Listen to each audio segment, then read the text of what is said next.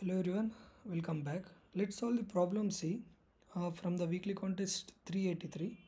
So after reading the problem, most of them will give up because you see the big descriptions and you see there are so many conditions mentioned over here and you feel like this is not a cup of tea and you will give up. But if you read this question twice and thrice and if you understand what exactly the problem is saying, then it's like a basic implementation. So first we will drill down the question we will understand every every bit of the question clearly. Then we will see the approaches. You uh, after understanding the question you can do in different approaches. So you can see the solution step anywhere you can see. Now let's first understand the problem.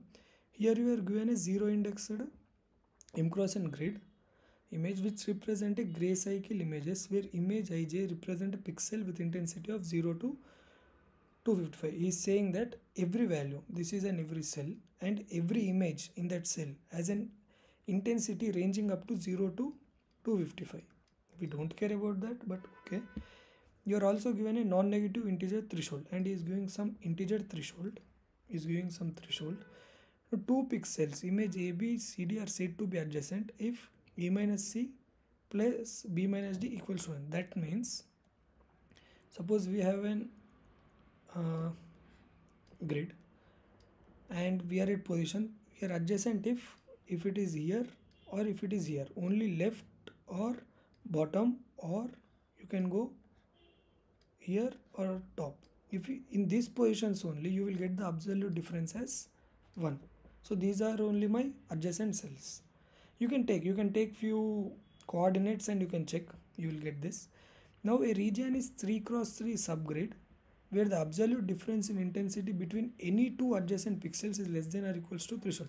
Is saying that uh, suppose if you consider my threshold threshold as 10 and if my this position is 30 and if my adjacent is 20 then it's valid. 30 minus 20 which is less than or equals to 10 suppose my this value is 10 now my intense uh, the difference of intensity is 20 and it is greater than threshold. So it is invalid. So if it is invalid so if it is invalid then the 3 cross 3 grid is not a valid grid. So we will check for the multiple. All pixels in the region belongs to the belong to that region. Note that a pixel can belong to multiple regions. He's saying that one pixel can be belongs to multiple regions. So we'll see that thing now in the example cases you need to calculate zero indexed m cross n grid where result of ij is the average intensity of the region to the image. Suppose if you are at this cell and this cell is included in so many 3 cross 3 subgrids. If it is included in this subgrid and if it is included in some other subgrid then and if it is valid and if it is valid this condition needs to be satisfied threshold condition. And if it is valid then we will take the averages and rounded down to average intensity. That means he's saying that uh, rounded down average intensities of this range. That means suppose if it is 9 by 2 we'll get 4.5 we'll down it to 4 only.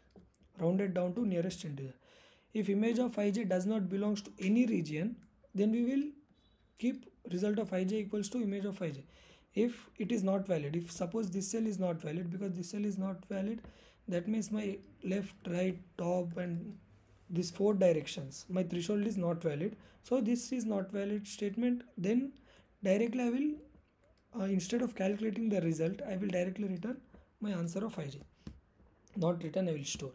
Now let's see. Now let's see with uh, various examples. Suppose if you are taking this grid this grid is uh, 3 cross uh, i have made a mistake here. It come it should come like this and should be this. Should be this. Hmm, right. Uh, consider this is not there.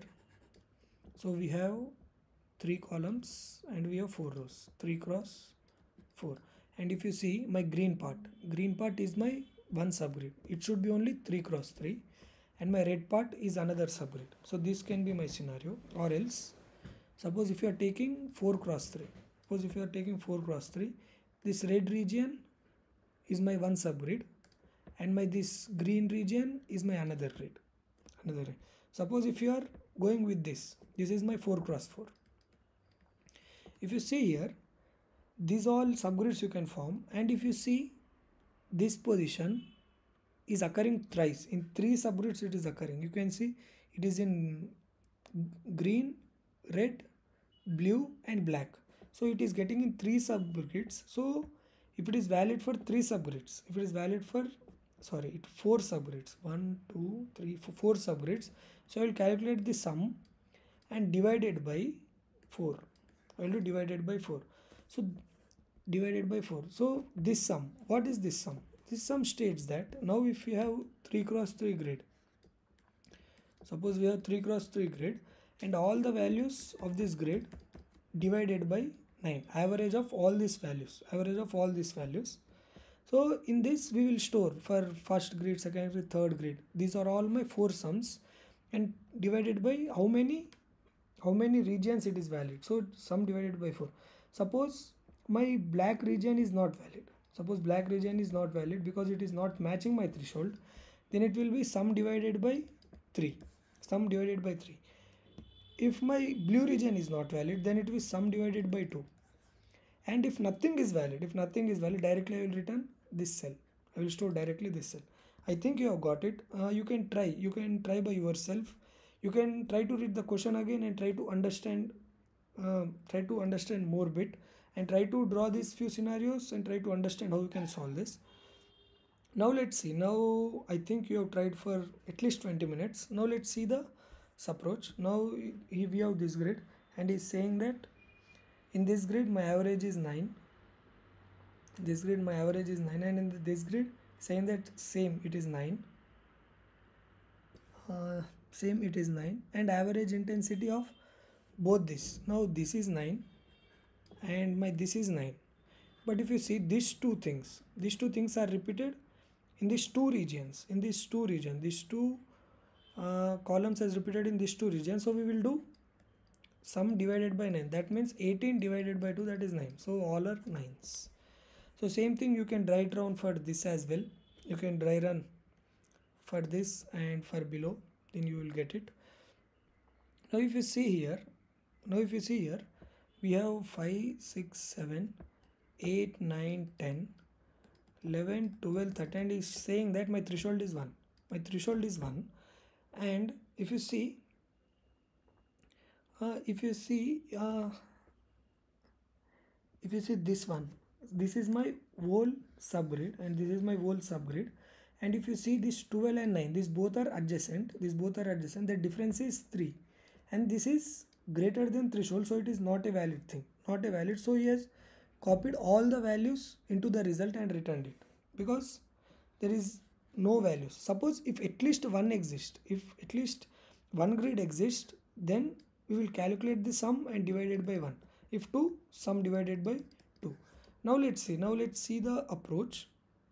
It looks like a very big code but it's not. It's simple. Now i'm using map to store whether my grid is occurred at least once. I'm storing map of pair int comma int. And i am saying that if at least my cell if at least my cell is occurring once so i will keep in the map. Or else i will directly store my vector uh, my vector answer into my original answer. Now we will iterate j is equals to 0 j less than c minus 2 as you know. So we should exclude last two elements because this 3 cross 3 grid. If you are at this position you can't form a 3 cross 3 grid.